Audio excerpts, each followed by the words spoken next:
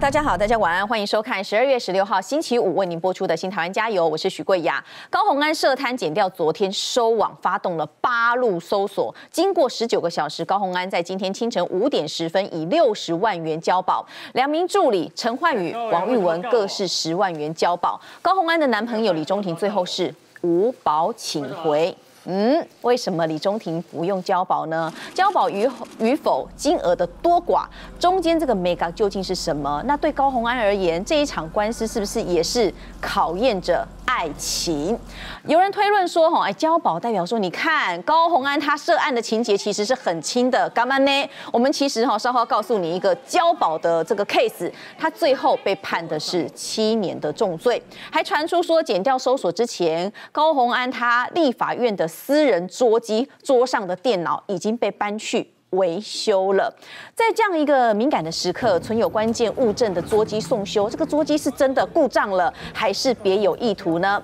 高鸿安他涉嫌诈领助理费这个案子，哈，从他的本人，还有李中庭、陈焕宇、王玉文，还有小兔黄慧文、陈玉凯，前后总共是有六名的被告，他们都被约谈到案了。大家有没有发现哪里漏了什么？还有一个非常关键的角色是月薪，哈，表账写五万块，可是呢，他实领。却是零元的 Z 九吴达伟，怎么没有看到约谈的动静呢？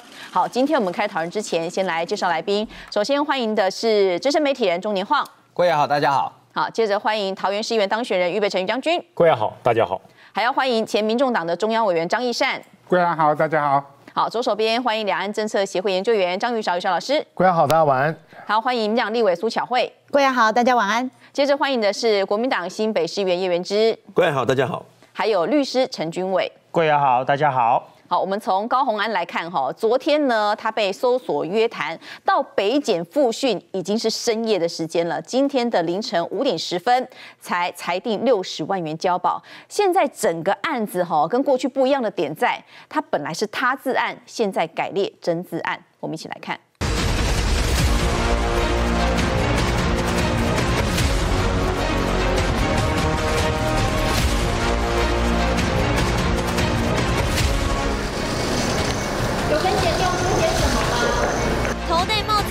绑马尾，立委高鸿安被送往地检署复讯，前法官当场呛香。被骂贪污犯高鸿安不发一语，讯后被依贪污治罪条例六十万交保。涉诈领助理费，高鸿安双手合十道谢，快步离去。北检外还有支持者举牌声援。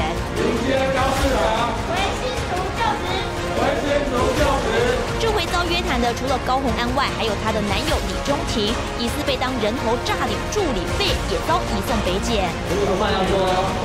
同样不发一语，李中庭讯后无保请回，而高鸿安办公室主任陈焕宇以及前助理王玉文都是十万元交保。好，我们看哦，在约谈完之后呢？大概他们的结果会是什么？哈，这个是初步的啦，哈。呃，高鸿安在经过连夜十九个小时的侦讯之后，哈，那因为他是在昨天的时间，在十点半钟他进到了北基站来接受约谈。呃，我们看哈，这个已经是三个半没啊，到了这个算是凌晨呃十二点零二分哈，他移送到了北检。那最后在清晨的五点十分，六十万元交保候传。等一下我们再来聊其他的哈，包括他的现任的主任哈陈焕宇是十。万元交保，那前办公室的公关组长哈，或者是公关主任哈，龚卫文、王玉文，他是也是十万元的交保，男朋友无保请回。那我先请教焕哥了哈，呃，因为昨天我们讨论最多的是，我们在呃推演说到底有没有可能压？我看到昨天很多鸡跟鸭啦，对，到底晚上吃了鸡跟鸭，到到底会怎么样哈？我们昨天在推演，那今天的结果我们看到是六十万元交保，你意不意外？呃，说实在，我昨天下午就在脸书预测说高鸿安不会被被羁押，嗯，哦，果然被我料中。但是我有一点是料说，我想我原本认为说他的助理更应该至少会有一个到两个被声押，但是竟然都交保，嗯，那代表这些助理呃，其实跳船的速度还蛮快的啊，嗯，因为简单来讲，检察官为什么要羁押一个嫌疑人，就是认为，因为检方在问你的时候，他不会不会是一张白纸在问你。他手上一定有相关的证据，然后他在问你的时候，他从你的回答里面来判断你到底你饭后态度如何。简单来讲，就是说你到底有没有从实招来了。如果你讲的都很呃，完全跟我手上证据吻合，甚至你讲了一些我都还不知道的事情，基本上这样的呃嫌疑人或者是被告大概就不会被羁押，嗯，可能就是无保请回，或者是说呃少少的交保。因为你配合我调查嘛，对你就捞戏的嘛，对对吧？所以显然助理跳船的速度蛮快的哦，就是陈焕宇跟这个王玉文两个人十万块交保什么意思呢？十万块金额其实就是一点意思意思啊。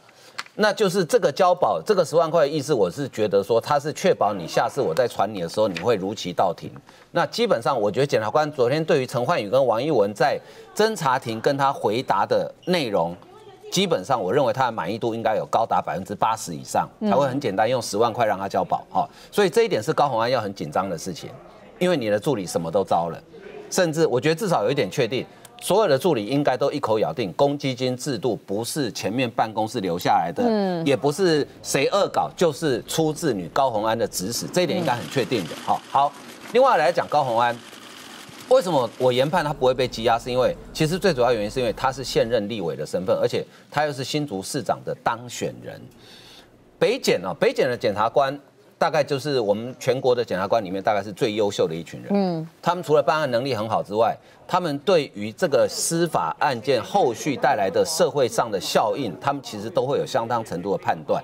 也就是说，北检的检察官他在判断一件事情，就说我今天这个案子能不能够继续办下去，跟羁押高红安有没有直接的关联？如果检察官觉得说不行，我不押人，这个案子我办不下去，那一定会升押。但是如果检察官认为说，其实压不压没差，我手上证据够了，我一样可以办下去。可是我压你会引起后续的政治效应很多，比如说我要经过立法院同意，好，那立法院到底是要朝野协商还是要院会表决，又又先吵一轮，好，好，所以呢，检察官在衡量之下，他觉得说，第一个可能他检察官认为说，第一个他手上的证据够，他可以不用羁押；第二个。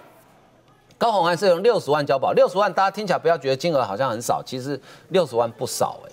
好，你在这个地检署的实务上，六十万交保其实金额不算低，而且高鸿安我们现在所知的所谓的贪污可能的贪污所得大概是八十几万，六十万交保其实我觉得金额不算太低。好，那六十万交保对检察官的判断是什么？就昨天他在问高鸿安的时候呢，有一部分的事情高鸿安可能承认了，但是大多数的事情高鸿安是不承认的。或是有点延时闪烁，所以检察官会用六十万来交保。好，那第一次交保是代表以后一定不会升压，也未必。我举林之妙的案例，林之妙第一次被约谈的时候是没有没有没有升压哦，五保请回哦。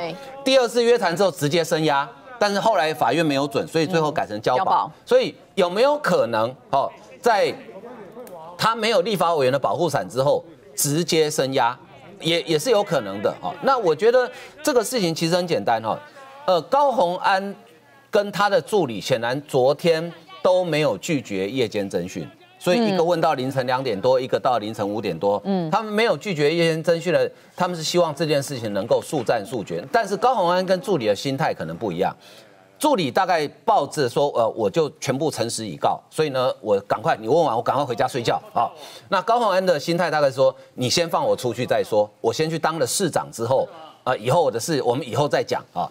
呃，所以到底有没有人能搞定司法呢？说说实在哦，我不认为在台湾现代的社会里面，有人能够搞定司法。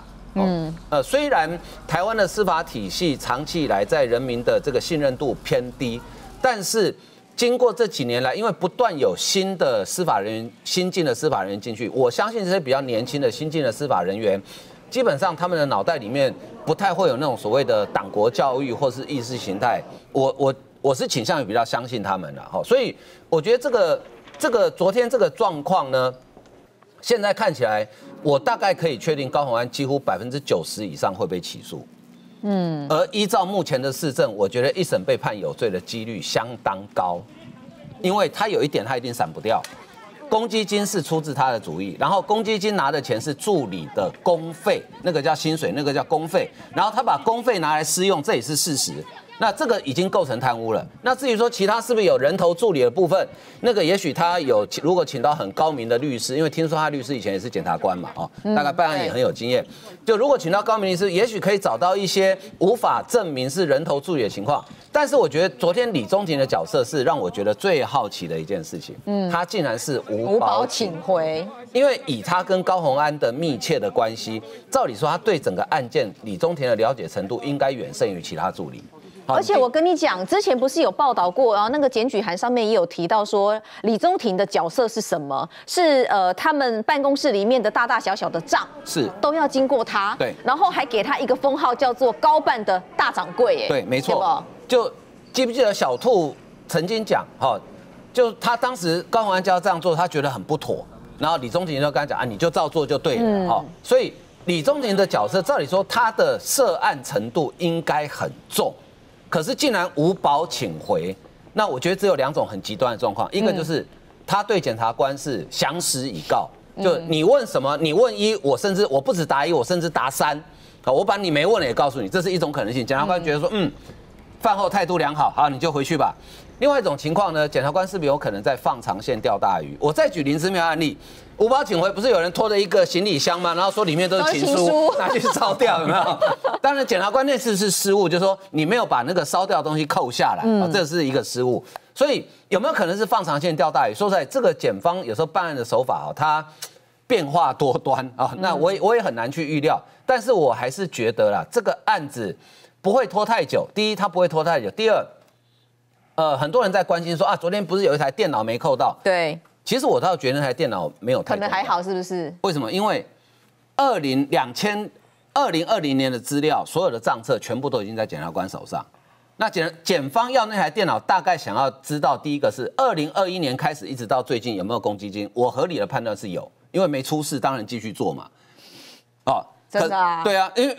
贵啊，这很正常啊，都都没出事，我当然继续做嘛。而且这个钱很好用啊，几十万、几十万的哈，我要洗头要吃大餐，要洗头要吃大餐，要双眼皮贴都有。对啊，好，有可能是二零二一年以后的资料，可是就贪污罪的实物来讲，你贪污的金额当然会影响到你的刑度，但是它的影响并没有那么大，因为它这一条是七年以上，就是低消。好，对啦，对，低消就是七年，那七年跟八年当然对被关的人来讲有差了哈，可是。后面检察官只要巩固，他只要能够巩固百分之百巩固前面两千年、二零二零年这个证据的话，后面这台电脑到底有没有被查扣，或者说这个资料是不是被销毁，甚至硬碟已经不见了哈？我觉得可能就是证据力的部分会可能会差一点点，但是会不会影响到法院最后的？呃，这个判决，我我觉得我个人到目前为止看起来应该是还不至于了，因为案情有非常多的细节，我们可以来讨论哈。那我们一个一个来，五保请回，等一下再来聊哈。我们先聊六十万元交保哈。来，于将军，我们看哈，高红安他。大概透露了一些什么哈？今天的这个呃报纸有写到说，据调查，高鸿安他做无罪的答辩，那他就讲到说，公积金的制度就是从呃助理呀，从前任的立法委员那个办公室里面带来的哈，不是他独创的做法，没有强迫助理回捐，没有钱进私人的口袋，没有呃这个。诈领公有财物罪，哈，那也这个使公务人员呃业务登载不实的罪的主观翻译，隆中笼 mở。可是呢，报道里面也写到的是，根据了解，被告的助理咬定公积金制度就是高鸿安所主导。嗯，啊，高鸿安公不不不，是走力传来哈，他把这个制度带来的。可是助理说没有啊，这个制度其实是。一手都是委员所主导的，那这边都叮当哦，对不对？两边其实是都不起来的，那你怎么看？其实交保，很多人就是说，哎，为什么他可以交保？为什么六十万交保？这个金额太低。其实交保的金额高与低，跟他有没有犯罪是完全，我觉得关系不大。因为哈，交保只是说怕你影响后续侦查与调查的进度，所以要把你扣起来。扣起来之后，等到我证据都已经到定位之后，怕你去湮灭、破坏或是串供，不然不然关他干嘛？不需要关他嘛？因为因为并没有并没有判定有罪，只要在这个整个审审判到定位定验之前哈，其实他不是他他可以说我无罪啊，因为还没有判嘛。不管是一审二审，你你没有没有判定，他可以说无罪。那既然无罪，你不能关他。所以这个羁押并不代表他有罪无罪，而是说会影响到整体调查的进度。其实除了交保代替羁押以外，还有什么办法可以代替羁押？有折付呢？可以折付。以前在军中，你知道，我问阿兵哥，但放假想不开，出去抢银楼，你知道吗？然后被谁抓到？被一个特战指挥部的兵抓到，所以那个特战指挥官去接受表扬，我被抓去狠狠的骂了一顿。那这个兵到了这个开羁押田的时候，就问我说：“哎，那你是军人嘛？所以部队长，你签名折付，叫我带回去。”那我就直接问那个，我可不可以不要折付啊？我可不可以不要折付？可以啊。他说你不折付，他就抓去关，那就关啊。嗯，那就抓去羁押。嗯，那他说为什么你不要折付？我说折付回到部队跑了算我的。折付就是你当保人对对，就是我当保人对不对？你当保的不是金额，是那个人嘛。那我这个兵把他带回来，我又不能把他关在紧闭室，因为红洞球案发生之后不能随便关紧闭啊。那你给他放在营区里面，他翻墙跑掉就算我的啊。所以我说我我不签折付。最后这个这个兵就被羁押了。后来就一直到判刑，那所以我在讲说哈，羁押与否或者是交保与否跟犯罪与否，我我我不认为有只有绝对的关系，嗯，它只是影响调查的程序。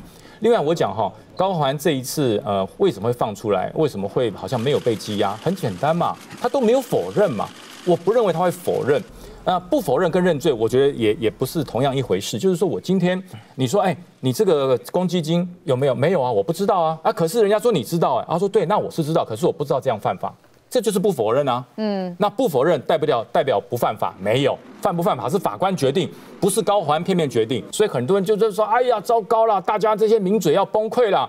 高环没有被压，你们难过？哎，我们又不是，我们又不是坏蛋，看到高环被压，我们高兴吗？我们也没什么好处。我们不会啊，高环高环被压，我们不会高兴。但是我们希望的是这件法律事件赶快水落石出，因为我们都有缴税，我们缴的税希望是让国家有益，发展国家整体的行政效率，而不是让某些人去方便。所以大家关心的是法律事件，不是政治事件。如果你把中华民国的法律当成一个政治的工具，我说句实话。自从哈我们民主化以后，我不相信有哪一个人可以左右法律。你说早期哈那个党国通国库那个年代，还有以前传说说什么青天白日勋章可以换一条命。嗯，我们在军中以前，我小时候真听过，我们也听过啊，真的。对，那那时候在我们的对使馆里面就有一个青天白日勋章，你知道，我就跟那个管这个对使馆阿兵哥，你管好啊，这是一条命啊。那他说为什么？我说那以前我们传说青天白日勋章可以换一条命，他就跟我说。报告长官，你被骗了，那是以前啊，现在这个百天是个文物而已，他不能换一条命。你的意思换一条命是说，就是尚方宝剑的特色特色的概念啊，就是有某个上将以前他孩子可能犯了抢劫罪，对，然后就拿这个徽章去以功抵他孩子的这个过，给等于是总统对特色。所以那个年代可以左右法律，现在已经进入什么时候？民国一百一十一年哦，你还相信这个吗？我说真的不要相信，如果这样做是侮辱法律。但是我最希望的一件事。就是他在这段时间，我希望高鸿安，你即使就任了新竹市长，你要把你以前这个你不认为是错的事情，你把它先杜绝掉，停掉。否则，受害、受到损害的是新竹的市民，这才重要。哦，这个案子呢，其实全台湾都非常的关注哈。那尤其我觉得这个法界啊，哈，律师的部分哈，很多人都在动脑筋。昨天在看，因为他们也知道说这个相关的案情，然后都有在发罗。那发罗之后呢，就会开始推演，对不对？那这个呃，军委律师我就请教哈，嗯，在这个部分里面呢，呃，我不晓得你有没有在那边动脑筋了哈。我们看有两有六十万交保的，有男朋友无保请回的，有。两个助理是十万元交保请回的了哈，而且整个时间拉的蛮长的哈。那还有一个我们也觉得蛮诡异的是，奇怪了，那个五万零零元的吴达伟怎么到目前还没有看到什么动静哈？那我想要请你先从这个数字上来分析哈，十万块哦。那咋办？那那五保请回，我们要怎么看这个美感？好，我把这个案件哈，高洪安这个案件，我我把它当做说是一个法律贪污治罪条例一个教案。为什么？嗯，刚刚贵雅讲的很好，就是说为什么高洪安本身是六十万？其实我要先说六十万很少。好，在实物上的交保竟然是非常少。那因为他六十万已经压了一个基本的一个限度，所以下面就只能十万，甚至是五保请回。那如果把整个案子刑事案件当做一个台风来讲，台风眼越靠近台风眼，一定是越严重。所以高宏安他在台风眼当中，所以他如果今天检察官决定这个案子要放人，那高宏安他的数字如果设为六十。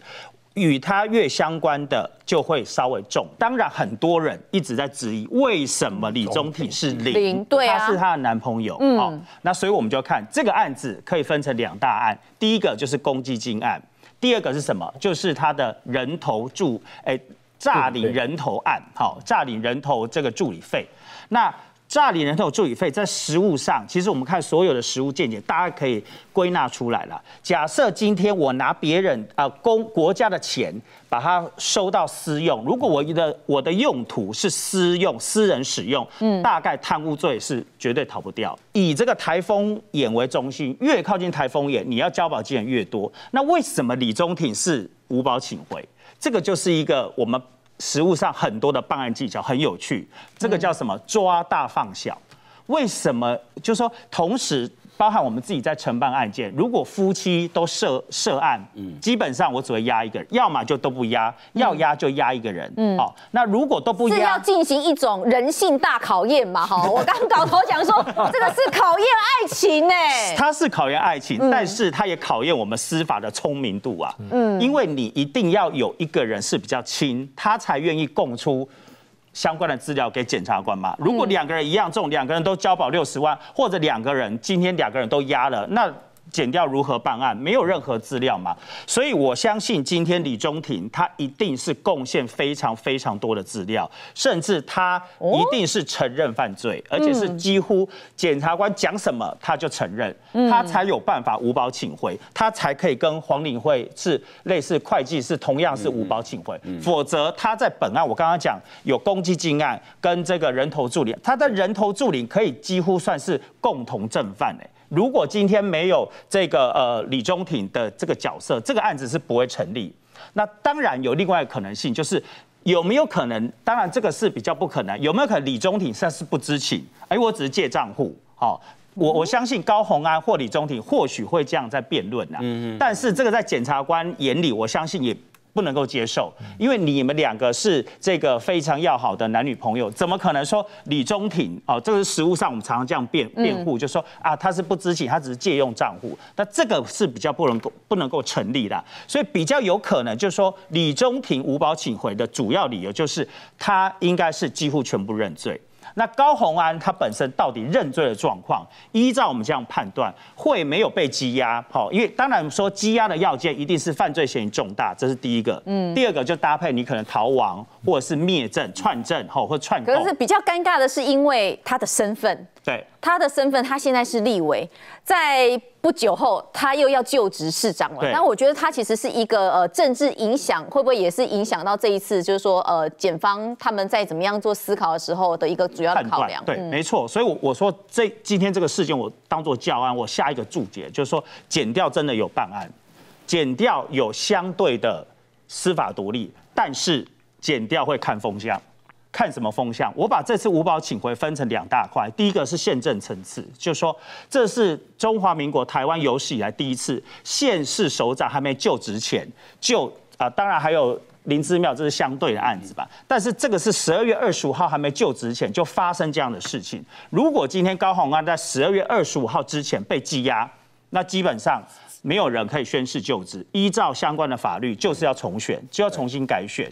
那这时候检察官他就会面临一个这个考验，就是他是代表三权分立民里面的司法，我要抵抗全部新竹市市民的民意，连这个市长都还没就职，我就把他压起来，要重新选举，这个是检察官他会有压力的。好，所以这个是宪政层次。嗯，啊当然回到法律层次，就我刚刚讲。要羁押的理由，好，就如同于将军讲，不是说你认罪与否，但是认罪与否，它不是唯一的条件，但是它是一个重要的条件，就是如果你今天承认犯罪了，OK，好，但承认部分，我可能会愿意哦，就是给你这个法外开恩，不不予羁押，但是还是会有一定的交保金。呃，因为我觉得刚刚哈，这个熊大律师你讲到说看风向啊哈，大家会觉得哈，办案还看风向。不过比较认真仔细诠释了之后，我觉得你的意思应该是说哈，因为知识体大哦，所以他考量的点非常的多啦。我解释一下好了，我刚刚听到他讲看风向，你给他点点吧。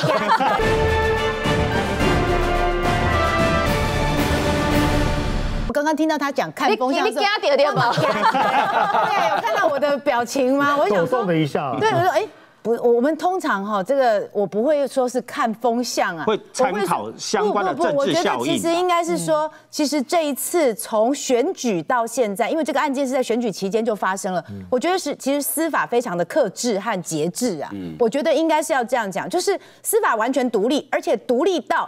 他现在不是恐龙法官，他和这个社会共脉动，他会宣发知道说，如果我现在哦是在选举的过程当中大动作去搜索、去侦查，甚至到羁押这样的程度，那是不是有一边不管哪一边，一定会跳出来说你是不是要影响选举？对嗯，OK，好，那所以我等到我在慢慢的收集市政，我静静的鸭子划水的收集所有的市政。那么现在选举结果已经出来了，大家发现，哎。开始了，这件案件开始在收网了，一直到现在，他甚至是到了立法院进行搜索这样的动作，甚至有约谈等等。可是昨天的这个状况下，请高鸿安等人这些助理，包括去约谈了之后，是无保请回的也有，或者是有这个交保这样的状况，但就偏偏没有社会大众某一些人以为的羁押把他关起来这个部分。我觉得连这个部分搭配刚刚这个呃军伟律师讲的，其实仍然是司法节制的一部分哦。我必须这样讲。首先哦，我觉得今天大家真的是法律小学堂啦哈。这法律小学堂的状况，就是刚刚呃，这将军大家也都讲了，大家一定要清楚，没有羁押不代表没有犯罪，羁押跟犯不犯罪有没有被判刑，这是完全两码子事。因为羁押这个动作是台湾我们的法律里面刑事诉讼法里面，他是说什么呢？是检察官在调查这个犯罪，他认为你有犯罪的可能哦，但是我如果不把你抓起来，我不把你羁押起来的话，会让这个案子难以办下去。这是在刑事诉讼法第一百零一条写的清清楚楚的，是非与羁押难以进行追诉、审判或执行，所以一定要是。跟审判这个进行这个追诉有关系的才会来，为什么？因为你把一个人关起来，这是妨害他的自由，这何等重大！我们不是就是不希望自己像中国一样随便走在路上就被人家抓起来了吗？一定是要重大的理由嘛。所以在任何调查中，你都还是是理论上我们都是无罪推定，你是无罪之身呐。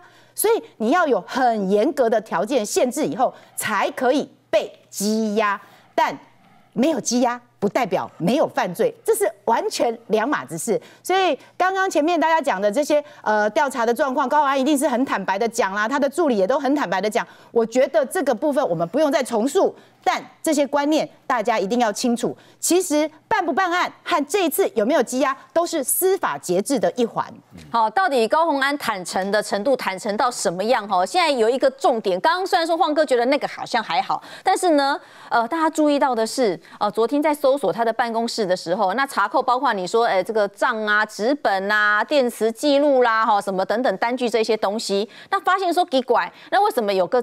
关键的电脑主机怎么不见了哈？那甚至又有人来通报说，哦哟，电脑主机送去维修了哈。这一块那到底是怎么一回事呢？那如果说维修的那一台电脑真的有什么很重要的东西的话，那是不是也是在做灭证呢？我们先一起来看。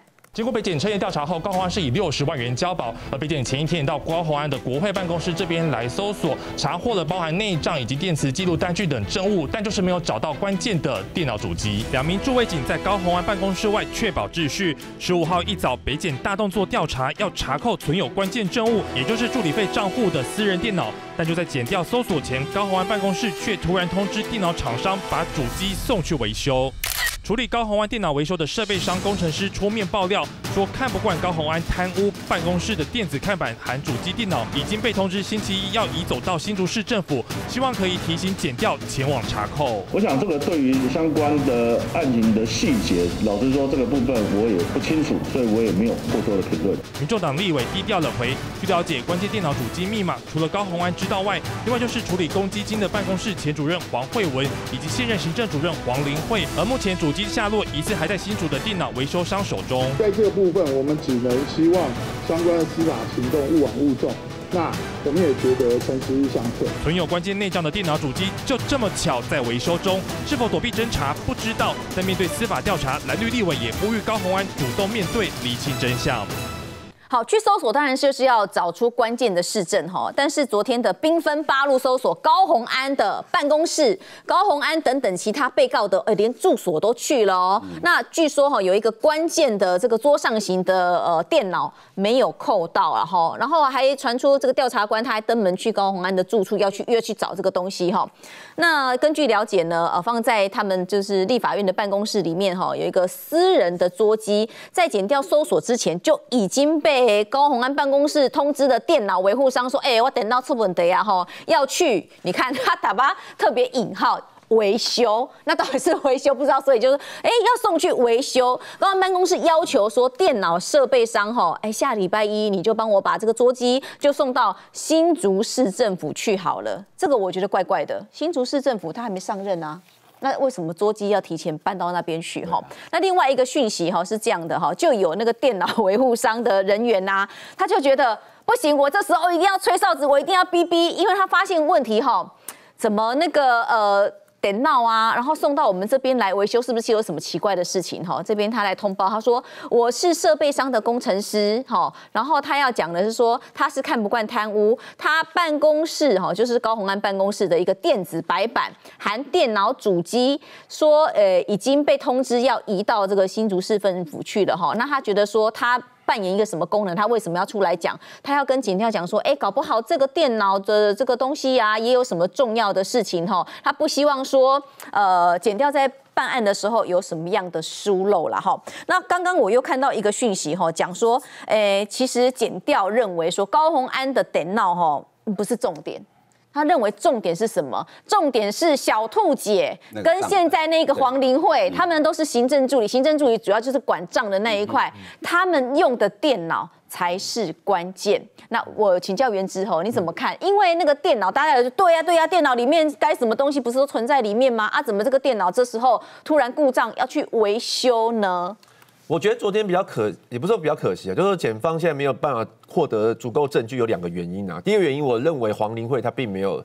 把他的账本交出来啊，他他手上一定会有一个账本嘛，嗯，因为刚刚欢哥也有讲嘛，之前是是那个小兔他做的那个账本，那做完之后他离职，离职之后高高安不觉得有问题啊，不觉得有问题，他继一定会继续做这个公积金制度啊，那这个这个就掌握在黄黎慧的手上嘛，嗯，那黄黎慧可能没有把这资料交出来，然后呢，很可，然后再就是那个电脑的，不知道为什么，我我觉得我我不太相信说是消息走漏啊，可能就是这么巧合啦，嗯，就是高安说要去新竹，所以就把电脑送到设备上那边去，就。设备，然后电脑全部在设备上那边，所以昨天检方去高官的办公室，并没有扣到电脑，只有带了几个助理跟一箱的资料走而已。那那箱资料可能也没有什么特别的用处了。所以在这个部分就有一个断点，那个断点就是后面的公积金的账本呢，可能就没有足够的资料可以问下去。那所以，哎，可是我觉得就算有断点，前面也已经有十一个月了，应该还算充分。所以他现在就只能针对那个前面那个小兔账本这个部分去做询问嘛。嗯。所以我们现在看到所有检察官针对昨天的被告或者是证人就。所有的处遇都是